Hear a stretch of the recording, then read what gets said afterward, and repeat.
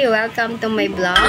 Ipapakita ko sa inyo yung mga bagay na na-accomplish ko sa pag-asikaso ng requirements bago magsimula sa DepEd o maging public school teacher.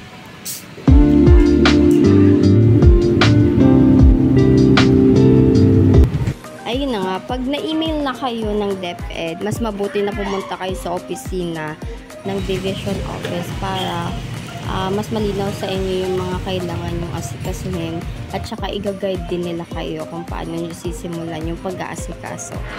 At kasi nakakalito din dahil mag, kung mag-rely lang kayo doon sa email na ibinigay nila, mas better talaga na pumunta sa kanilang opisina. At nung pumunta nga ako sa DO, may binigay sila sa akin na isang maliit na papel, parang check checklist ko para sa mga gagawin ko. At bago nga ako pumunta, nag-prepare na din ako ng PDS ko, pati yung SALN ko na uh, downloadable online. Inedit ko na siya. At pina-check. Ay, ayun na Babalik ako mamaya kasi mag-edit ako ng PDS ko at saka yung mga uh, tatanggalin at saka uh, idadagdag sa SALN. Okay, bye-bye. Mamaya ulit. Babalikan ko kayo.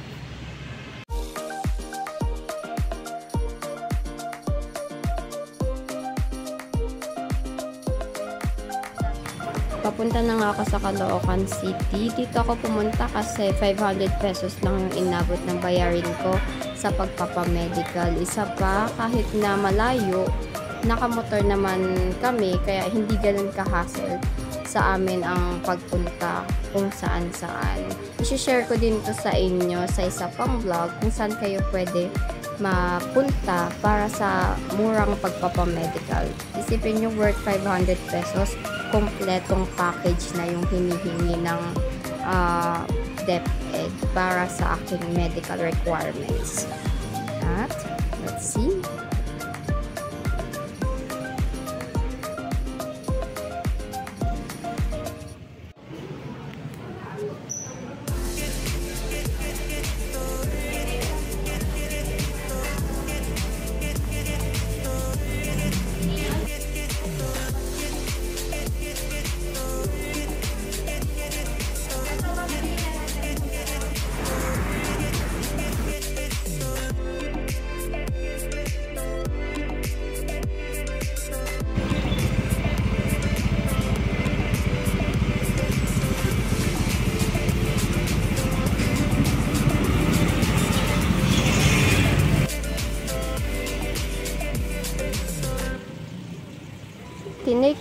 Yung psychological exam ko ng 30 to 45 minutes.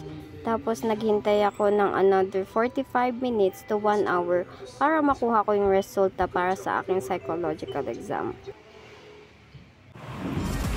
Hi! Okay, ah, uh, itutuloy ko na yung aking naputol na video para sa aking mga bagay na natapos sa unang araw, pangalawang araw at pangatlong araw.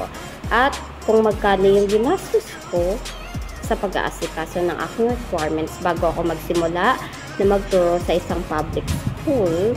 At ako nga ngayon ay nasa San Juan. Okay, syempre, taga, nag, nasa San Juan ako. That is why I grab or I accepted sa San Juan. Yes, I first, ano, actually first choice ko talaga San Juan kasi syempre, walking distance lang. Naglalakad lang ako papasok. Okay, and simulan na natin ang pag-share ng aking experience from 1 to 3. This is just a summary. Okay? Summary ng aking mga ginawa from day 1, day 2, and day 3. Okay.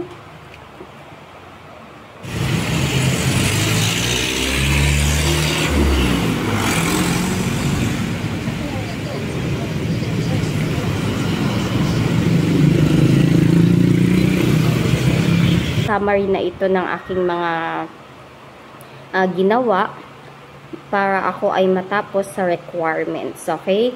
Sa aking first day, okay, may copy ako. Sa aking first day, pumunta ako ng DepEd para malaman ko kung ano yung mga bagay na kailangan ko. Kasi ayoko magbase dun sa sinend, sa sinend lang nila sa email kasi ako mismo nalito Kaya ang una kong ginawa is pumunta ko ng DepEd para i-clarify o i-clear out sa kanila yung mga katanungan sa isip ko at malaman ko din yung unang hakbang na gagawin ko. Okay, the first thing I did is nagpa-medical ako. Ang aking medical is just worth 500 pesos. Ngayon ko siya ginawa, let's uh, it's just an example. Ginawa, ngayon ko siya ginawa and then the next day nakuha ko na siya uh, yung aking resulta.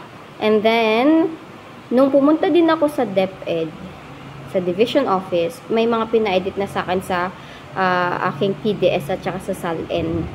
Bago ako pumunta doon, ginawa ko na si PDS at saka si SALN. Tapos, pina-check ko sa kanila bago ko siya i-print. Tapos, ang ginawa ko is, inedit ko naman siya kinahapunan. Okay? Ngayon, sa aking second day, kumuha na ako ng resulta ng aking medical. Nag-psychological exam ako. Ang aking psychological exam ay 500 pesos din. Dito lang yan sa Camp Crame. Napakadami dyan sa tapat ng Camp Crame. How I know it? Paano ko siya nalaman?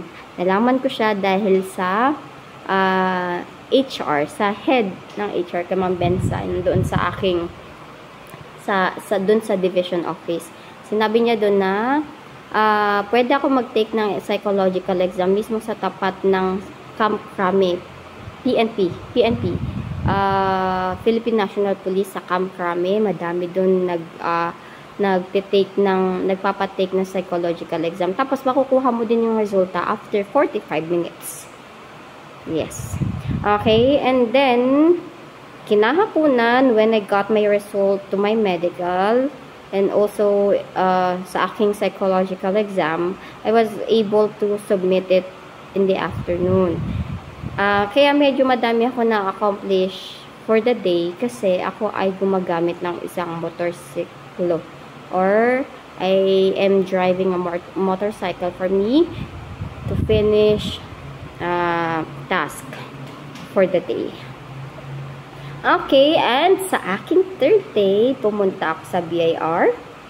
Tapos, nagpa-verify ako ng aking TIN number. Kasi parang hindi ako sure. Pero kung may TIN number na kayo, ibigay nyo na lang yun kay, dun sa inyong head sa HR. Kasi, uh, kung sure naman kayo sa TIN nyo, ako, nagpa-sure lang ako kasi medyo nag-aalangan ako. Tapos, humingi na din ako ng copy sa kanila na yun na talaga yung account ko, yung number, yung account ko or the TIN number ko. Yung aking TIN number. Tapos, uh, kinahaponan, mabilis lang ako kasi medyo wala namang tao nang pumunta ako sa BIR. Kinahaponan, ako ay pumunta din ng pag-ibig. Kumuha ko ng MDF form. Okay? At lang yung form na nagpapatunay na may account ka doon. Yung ano yung, para din malaman mo yung account number mo. Okay?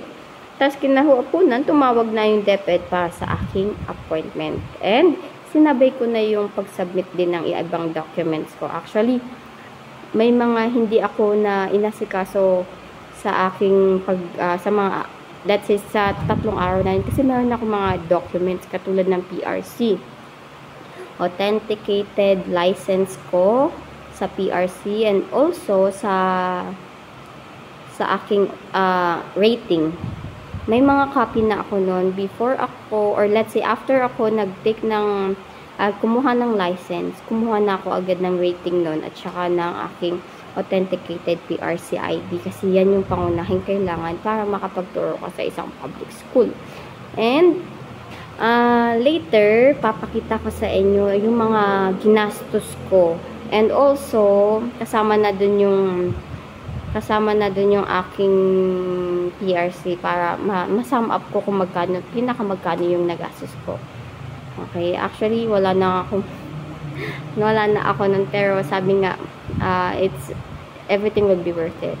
Ibig sabihin, ano man yung nagastos mo ngayon, mababawi mo lahat yon kapag tumatanggap ka na ng sahod. And I got already my first salary. I'm so sorry that it takes one month for me to submit or let's say to post another video about my application to the Department of Education to be officially a public school teacher. And I just wanted to share with you pala.